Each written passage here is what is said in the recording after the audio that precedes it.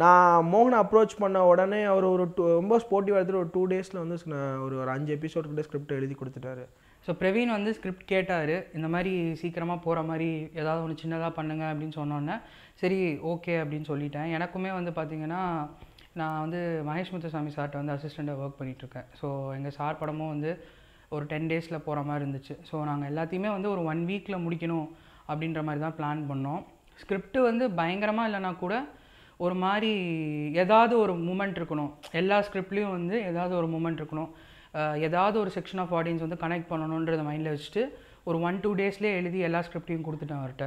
யூஸ்வலாக வந்து பிரவீன் தான் எப்போவுமே டிரெக்ட் பண்ணுவான். ஒயிட் போர்ட் ஸ்டார்ட் ஆனதுலேருந்து பிரவீன் தான் டிரெக்ட் பண்ணிட்டு இருக்கான். திடீர்னு வந்துட்டு மோகன் ஒரு ஸ்கிரிப்ட் எடுத்துகிட்டு வந்திருக்காரு ஒத்துஜி. நல்லா இருக்கு நீங்கள் தான் பண்ணணும்னு சொல்கிறாரு நான் வேணா வேறு பெட்டரான ஹீரோன் வச்சு பண்ணலான்னு சொன்னேன் பட் அவர் உங்களை தான் வச்சு பண்ணணும்னு சொல்கிறாரு அப்படின்னு சொன்னான். So it's like okay fine script அனுப்பி பார்க்கலாம் அப்படின்னு சொல்லிட்டு. ரீட் பண்ணேன். ஆக்சுவலாக ரொம்ப இன்ட்ரெஸ்டிங்காக இருந்துச்சு. கேரக்டரும் ஒரு மாதிரி நிறைய கோபத்தோட இருந்துச்சு. பட் ஸ்கிரிப்ட் ரீட் பண்ணும்போது ஆக்சுவலி வந்து கொஞ்சம் லைவ்லியாக இருந்துச்சு. என்ன அப்படின்னா இப்போ ஒவ்வொரு டயலாக் பேசும்போதுமே ஏதாவது ஒரு ஆக்ஷன் இருந்துகிட்டே இருக்கும். வெட்டியாகவே இருக்கிற மாதிரி இருக்காது அந்த சீன் நடக்கிறப்போ. ஸோ அந்த மாதிரி இப்போ வீட்டில் யூஸ்வலாகவே நம்ம இருக்கும்போது அப்படி தானே பண்ணுவோம். ஏதாச்சும் ஒன்று பண்ணிட்டு தான் பேசிட்டே இருப்போம். சும்மா இருக்க மாட்டோம். ஸோ அப்படி நான் அதை ரீட் பண்ணுறப்போ கொஞ்சம் லைவ்லியாக இருக்க மாதிரி ஃபீல் ஆச்சு. ரொம்ப முக்கியமான விஷயம் நாங்கள் குறிக்கோளாக இருந்தது வந்து ஏனோ தானோ ஒரு கண்டென்ட் பண்ண வேணாம். பண்ணால் நல்லா இருக்கணும். சி எங்களுக்கு இது ஒரு பெரிய கன்சர்னாக இருந்தது. ரொம்ப நாள் ஒரு வருஷமாக ரன் பண்ணுறோம் பெரிய சப்ஸ்கிரைபர்ஸ் இன்னும் வரல. எங்களுக்கும் ஒரு லிமிட்டடாக ஒரு ஆடியன்ஸ் சப்போர்ட் பண்ணிக்கிட்டே இருக்காங்க.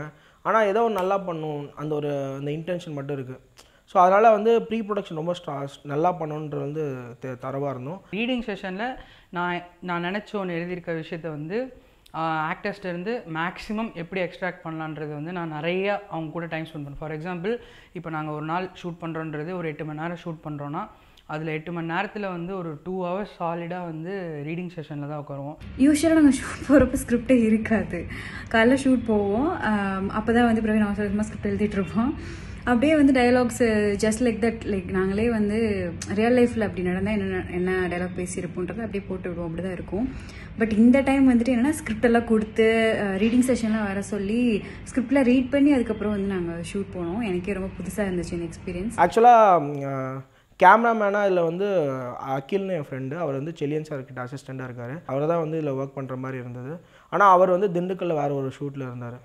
ஸோ அப்போ அந்த டைமில் வந்து மோகன் ப்ரோவே டைரக்ட் பண்ணி மோகன் ப்ரோவே சினிமா கேமரா ஒர்க்கு பண்ணுற மாதிரி ஒரு சுச்சுவேஷன் வந்துருச்சு. சரி ஓகே ஃபைன் அசிஸ்டன்ஸ் யாராவது கூப்பிடலான்னு பார்த்தா அசிஸ்டன்ட்டும் ஒரு ரெண்டு மூணு பேர்கிட்ட சொல்லி வச்சுருந்தேன் கேமரா அசிஸ்ட்டுக்கெலாம் கடை பார்த்தீங்கன்னா லாஸ்ட் மினிட்ல அசிஸ்டன்ஸும் வரவே இல்லை. இப்போது வந்து ஷூட் அப்போ எப்படின்னா மோகன் ப்ரோ ஆர்டிஸ்ட்டு நான் வந்து நைன் டு சிக்ஸ் ஒர்க் பண்ணிவிட்டு நைட்டெல்லாம் வந்துடுவேன் சாட்டர்டே சண்டே ஃபுல்லாக இருக்கேன். இப்போ இந்த டீம் வச்சுட்டு ஒரு சீரீஸ் ஃபுல்லாக ஷூட் பண்ணியிருக்கோம்